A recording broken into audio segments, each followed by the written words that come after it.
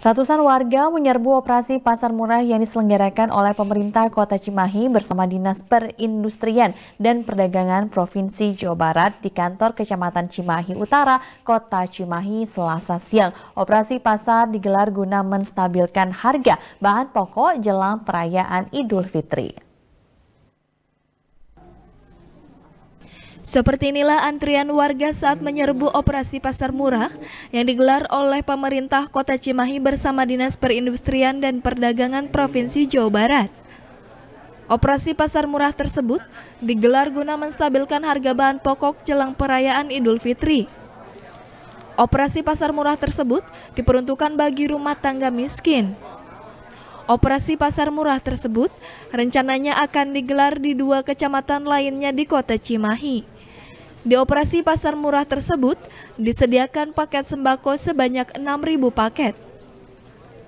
Paket sembako yang dijual terdiri dari tiga komoditas, di antaranya beras premium, minyak goreng, dan gula pasir dengan harga jauh lebih murah. Di pasar jika diakumulasikan harganya mencapai kisaran 136.000, namun di pasar murah tersebut hanya dibanderol dengan harga Rp60.000.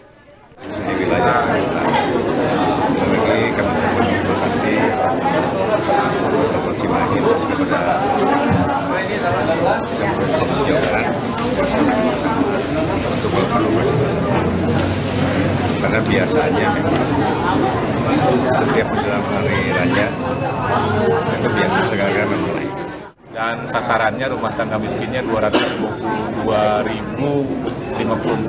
RTM ya, untuk Cimahi ini 6.000 bagus acara ini. Emang harganya lebih murah bu? Ya, Beda berapa bu? murah dari biasanya. Harusnya mungkin 100 lebih, ini cuma 60. Warga berharap operasi pasar murah bisa digelar kembali di tahun-tahun depan. Algi Muhammad Gifari, Bandung TV.